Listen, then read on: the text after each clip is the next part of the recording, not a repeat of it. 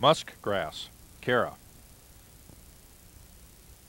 Because of its size and complex structure, musk grass may look like a higher plant, one that would produce flowers and seeds. However, muskgrass actually is a genus of alga, more properly a multicellular macroalga. There are several species of muskgrass in Florida. They grow attached to the bottoms of ponds, lakes, slow-moving rivers, and ditches. They sometimes form underwater meadows.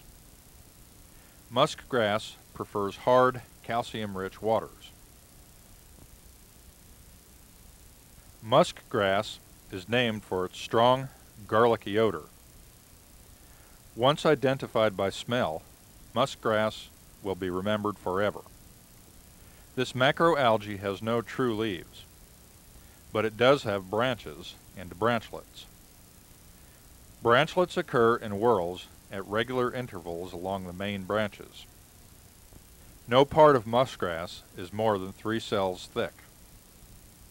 The branches and branchlets are made of single column-shaped cells that often are surrounded by spine-shaped cells. These spiny cells and the lime deposits that collect on them make the plants relatively rough to the touch. Musk grass branchlets also are the sites for the alga's reproductive sporangia. These dark, ball-like organs appear seed-like along the branchlets. Musk grass is a macroalga. This submerged plant has a distinctive garlicky odor. There are no leaves. Tiny spines and calcium deposits make muskgrass rough to the touch.